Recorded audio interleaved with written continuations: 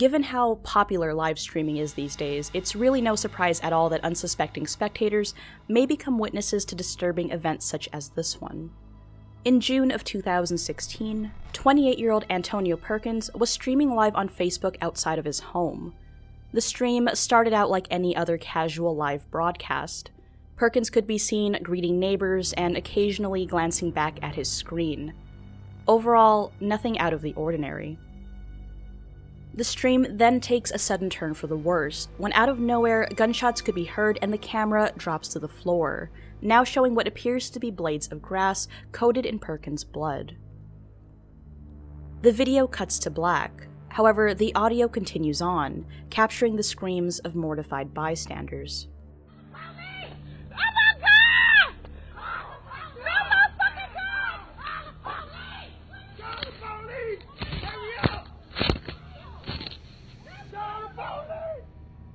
Perkins was rushed to the hospital, but unfortunately did not survive the ordeal.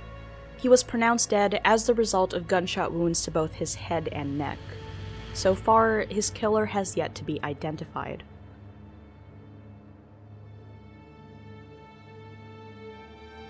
Our next story is especially tragic, and one that you may have already heard about in recent news. Just a few days before the start of 2017, a 12 year old Georgia girl by the name of Katelyn Nicole Davis broadcasted her own suicide to anyone who was unfortunate enough to be watching. The full, uncensored video lasts over 40 minutes long and begins with Katelyn walking over to a tree where she begins to tie a rope around one of its branches. After reciting her final words, Caitlin hangs herself, and the video ends with off screen voices calling out to her, unaware that she had already passed away. The recorded live stream of Katelyn's death quickly found its way back online and soon went viral. While many are generally misinformed about this event, thinking that this girl committed suicide after being rejected by a boy, her social media would say otherwise. In various blog posts and YouTube videos, Caitlin detailed her history of depression and alleged sexual abuse at the hands of her stepfather. Which. which I had a stepfather, but he tried to rape me and he told me I should go hang myself because I was worthless. I was a worthless whore. Sorry.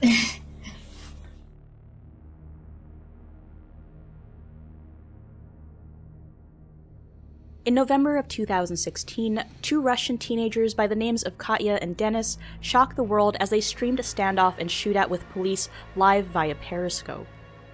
The pair, both 15 years old, claimed to be madly in love, However, their families unfortunately did not approve of them being together. Tensions between the couple and their families escalated following an argument over a sleepover. The conflict resulted in Denis shooting Katya's mother in the leg and led to the teenagers running away together and barricading themselves in Katya's stepfather's home, along with several firearms and a considerable amount of alcohol.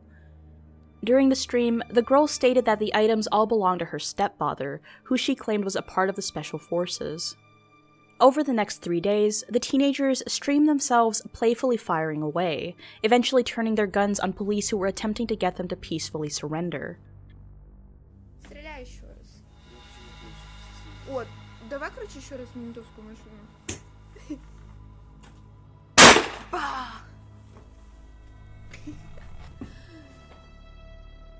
By the third day, the couple's mood shifted. No longer their playful selves, the two contemplated what would happen once they surrendered, eventually coming to the conclusion that they would rather die together than face jail time separated from one another. Once police were finally able to break into the house, they were met with a gruesome discovery. Katya and Denis decided to, as the pair called it, go out in style. They were both found dead with what appeared to be self inflicted gunshot wounds.